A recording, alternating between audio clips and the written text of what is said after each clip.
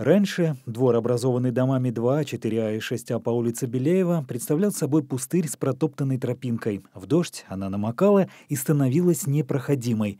В апреле на встрече с главой округа Андреем Булгаковым жители попросили сделать из пустыря удобное место отдыха.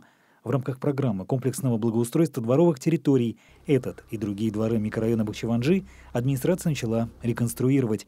Некогда скучное пространство между домами теперь заполняется малыми архитектурными формами.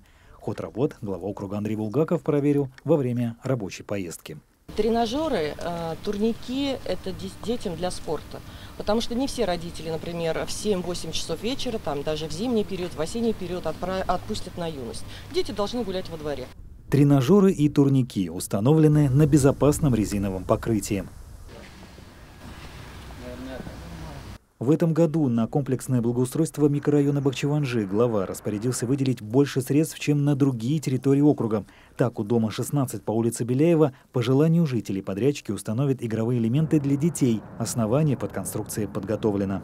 А так мы очень довольны, что нам особо устраивается. К благоустройству у жителей претензий нет, но есть вопросы по капремонту. Так, в третьем подъезде дома 16 больше четырех лет назад в результате некачественно проведенных работ произошел залив.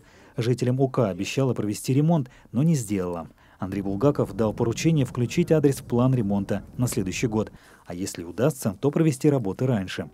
Близится к завершению благоустройства у домов 18 и 20.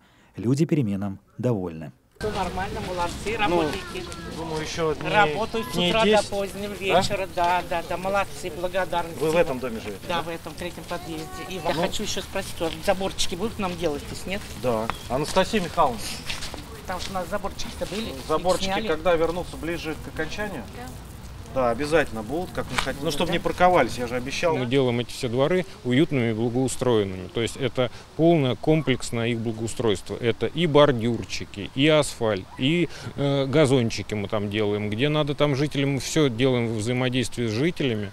Вот. А где надо скамеечки поставить, где надо там какие-то урны установить.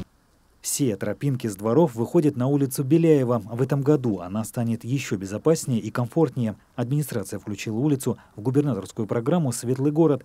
36 новых опор освещения с 85 светодиодными светильниками установили вдоль проезжей части. Протяженность линии более километра.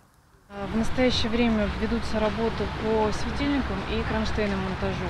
С- Процентов 40 на сегодня у нас исполнение по ним.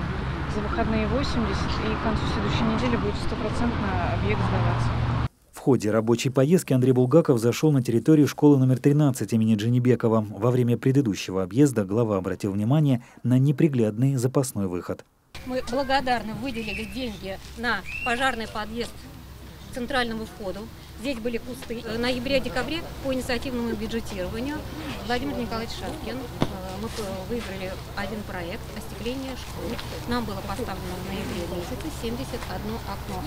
В этом году по программе инициативного бюджетирования на территории школы устанавливают две спортплощадки. Возможностей для занятий спортом у подростков станет больше. Универсальная площадка состоит из, получается, футбольного поля, мини-футбольного поля. Для игры в баскетбол будет встроенные ворота будут в эту площадку и будет площадка для сдачи норм ГТО.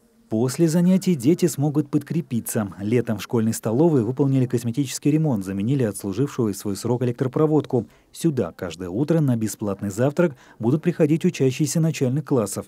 Качество горячего питания в школе глава проверит лично, как только начнутся занятия. Михаил Налетов, Игорь Поляков, Щелковское телевидение.